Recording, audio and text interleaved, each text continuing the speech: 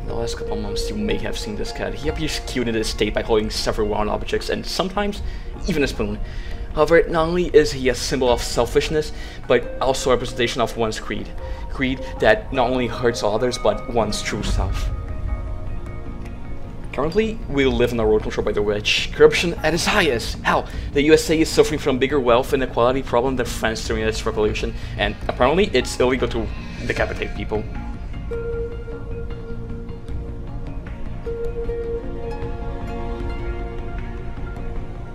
Despite this cat being clueless about the world's problems and its soon now inevitable death, he is no different from any other.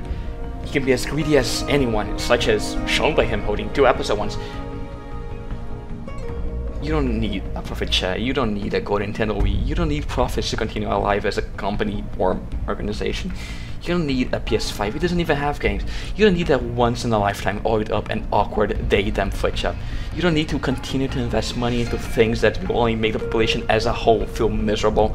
You don't need to start a private military company with your friends. You don't need a $1 billion car. You don't need Starbucks. And to be honest, that shit is just hella bad. It sucks ass.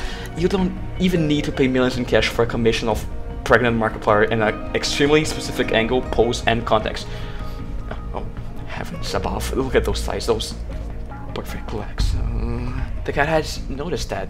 Despite the corruption that consumed him, he learned that possessing many things was not that mattered, but rather to find value in the small things in life. He found happiness in gifting others the things he was once scared to lose.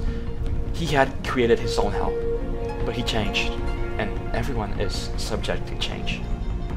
He doesn't care about possessing objects, he cares about the happiness and love that comes from giving to another. He's not loyal to a flag, a culture, or any set of ideals. He thinks on his own. He lets nothing stop him in his pursuit for happiness. Be like the cat.